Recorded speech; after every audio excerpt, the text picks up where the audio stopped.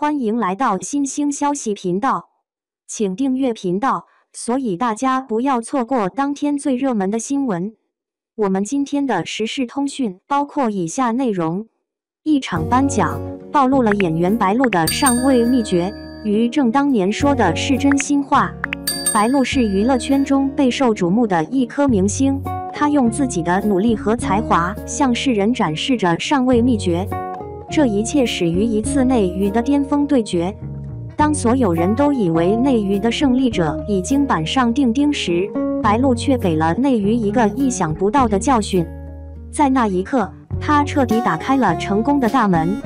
不久之后，各种顶级盛会纷至沓来，让流量明星们心驰神往。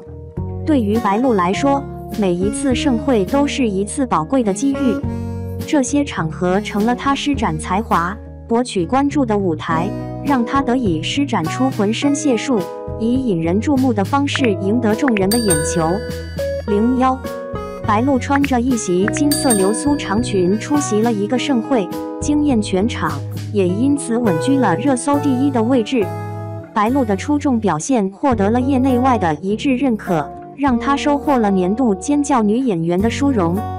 在领奖感言中，她依旧保持着惊艳的风采，展现出了超凡的魅力。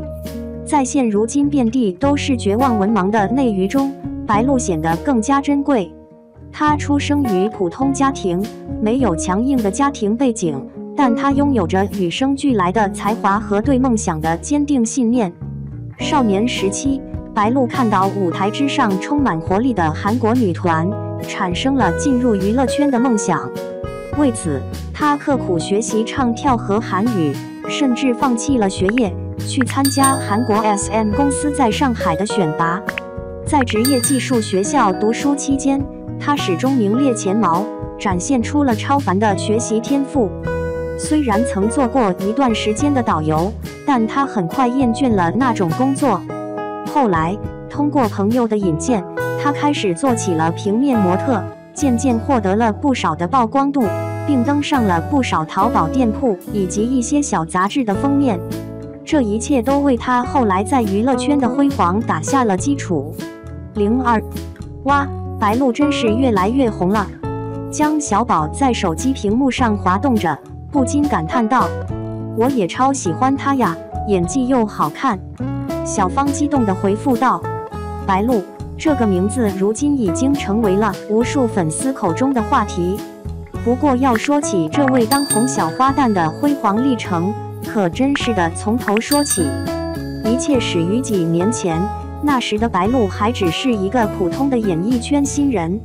而后，她因一段自拍视频迅速走红，不仅吸引了大批粉丝，更让欢娱影视对她刮目相看。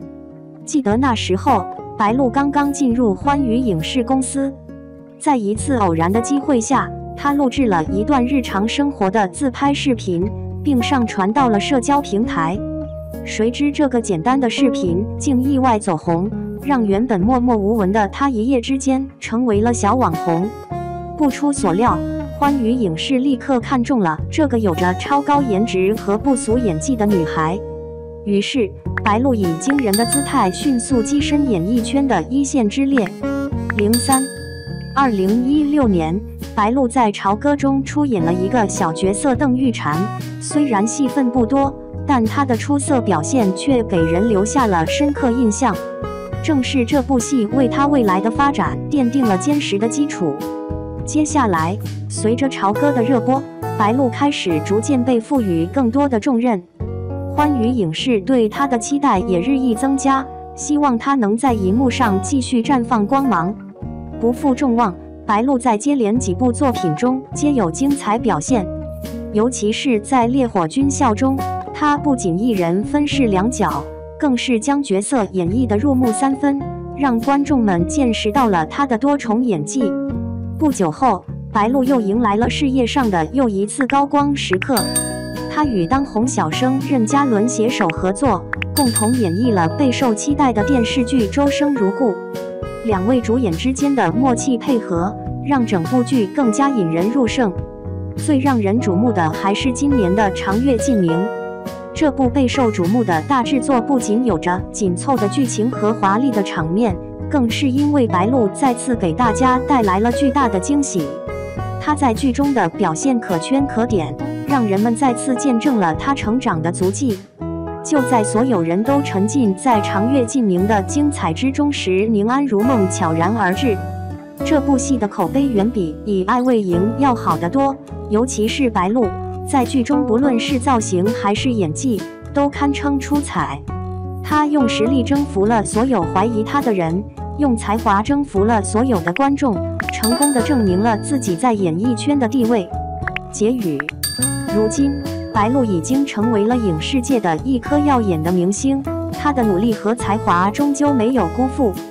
或许在不久的将来，我们还将见证更多关于她的故事。期待着她继续演绎更多精彩的角色，闪耀在银幕上。